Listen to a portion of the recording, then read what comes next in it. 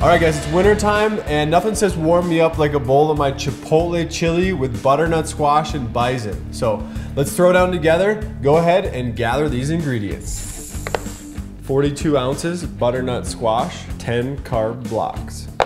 8 cups diced onions, 8 carb blocks. 12 cups mixed bell peppers, 3 carb blocks. 4 cups tomato puree, 8 carb blocks. 4 cups diced tomatoes, 2 carb blocks. 3 quarters cup chopped garlic, 2 carb blocks. 3 tablespoons olive oil, 27 fat blocks. 2.5 pounds ground bison, 33 protein blocks. Chili powder, ground cumin, chipotle powder, kosher salt, and black pepper. I love making chili, guys. This one's gonna be fun. I've got a preheated cast iron pot over here. Love this thing. I'm gonna start some olive oil in there. And we're gonna actually toast some of our chili powder. Boom, maybe half of it. And some of our cumin. Mix that up in the oil. And I'm also gonna get the garlic in there right away. We'll season our bison with salt and pepper. And we'll stick that down. And here I'm just incorporating that cumin and chili garlic mixture into the meat. And then we're gonna add our onions.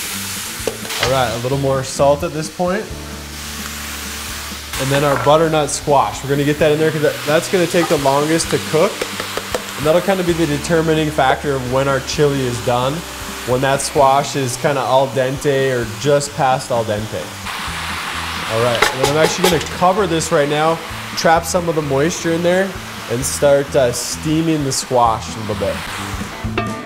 I will give it a little look here. It's been about 10 minutes. Give it a stir, and then what I'm gonna go for is just checking my butternut squash. Still a little hard. Needs some salt. I'm gonna salt this. And then we're gonna go in with our peppers. And by the time these guys are cooked, I'm confident that our squash will be ready. All right, just like that. One more pinch of salt on my salt guy. Boom. And then uh, lid's back on. Let it rip. Let's take a look. Boom, it's been about 10 more minutes. Goal now is just to finish it off. We're gonna add the tomatoes, stir those in. Then we just kind of want to bring it up to a simmer and finish the seasoning. We'll use uh, some more cumin, chili, all that good stuff if we need. And then we're gonna put the chipotle in right at the end. It's pretty good. Overall, I'm gonna add a little bit more chili powder to it. Dash more cumin. Our chipotle powder, we gotta be careful with this one. I'm gonna say maybe a teaspoon, something like that. And that one's pretty potent. I'm gonna fold this in with a dash more salt, and we should be good. All right guys, we ended up with 11 portions and we started with 33 blocks. So each one is three blocks. I'm gonna give this one try here so good. I automatically want to go back in for another bite. And as you can see, it's not like a watered down with tomato chili. It's nice and chunky, lots of veggies, plenty of meat. This is definitely a meal that you look forward to. So get out there, give this one a try. We'll see you next time.